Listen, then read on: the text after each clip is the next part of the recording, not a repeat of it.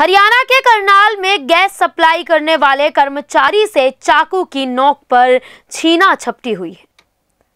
पूछताछ के दौरान आरोपियों द्वारा छीना झपटी की सात वारदातों को अंजाम देने की बात का खुलासा किया गया। आरोपियों द्वारा सभी वारदातें थाना सेक्टर बत्तीस तैतीस के एरिया में अंजाम देना कबूल किया गया है। आपको बता दें कि कर्मचारी से छीना झपटी कर दो आरोपी फरार हो गए थे। पुलिस ने पीड़ित कर्मचारी की शिकायत के बाद मामले की जाँच तफ्तीश शुरू कर दी।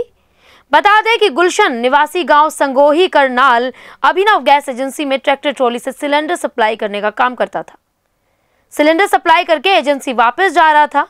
उसी समय एसपी कॉलोनी करनाल के पास दो बाइक सवार अज्ञात युवकों द्वारा सिलेंडर का रेट पूछने के बहाने उसकी ट्रैक्टर ट्रॉली को रुकवाया और चाकू दिखाकर गुलशन के साथ मारपीट की व उससे पच्चीस सौ रुपए छीन लिए।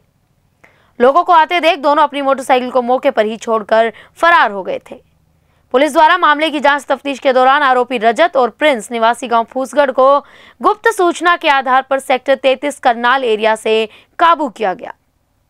अब पुलिस आरोपियों को 17 दिसंबर को अदालत में पेश कर रिमांड हासिल करेगी। रिमांड के दौरान पुलिस ने आरोपियों से गहनता से पूछताछ की जाएगी।